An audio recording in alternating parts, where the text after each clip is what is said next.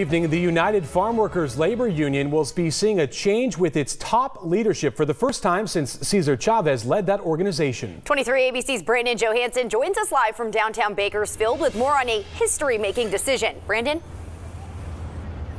Yeah, good evening, Tim and Jessica. The UFW will be hosting a Journey to Justice bike ride here at Mill Creek Church. That's set to get underway just this hour. And uh, part of that, of the bike ride, is going to be focusing on raising awareness about immigration reform. That is something that's set to continue to be a hot topic within the union as a new president takes over.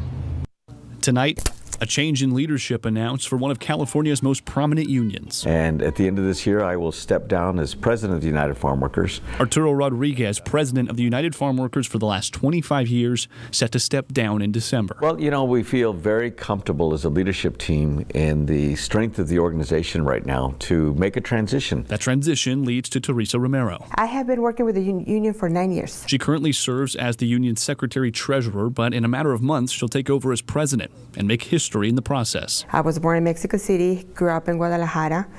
Um, came here in my early 20s. The executive board of the union pegged Romero to take over as president, and the union says that the 60 year old will be the first Latina to serve as the president of a U.S. national union, and the first immigrant woman to do so, too. I identify with the union. You know, I'm an immigrant.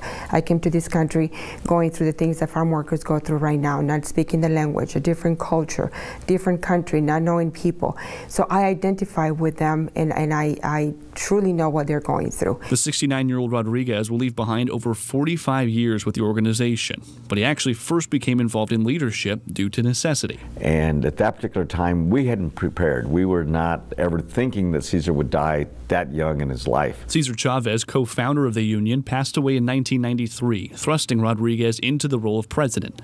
Since then, he's seen the ups and downs of the union, praising recent work like the passing of overtime laws for farm workers and protection from heat stress the kind of work that Romero says she plans to sustain while bringing a continued focus on immigration reform. The work that we do in the union, the work that I personally do is always it, keeping in mind that we're doing it for the benefit of farm workers.